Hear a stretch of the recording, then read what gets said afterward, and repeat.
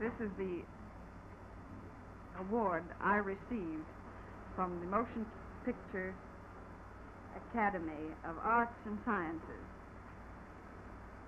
I'm very grateful for this very high honor bestowed upon me. I don't know quite how it happened, but I seem to be holding it in my hand.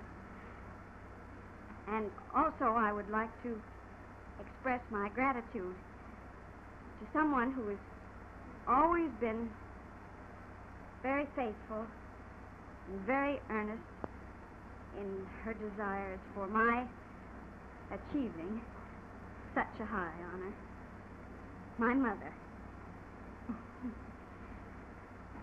this is the greatest moment of my life. Thank you.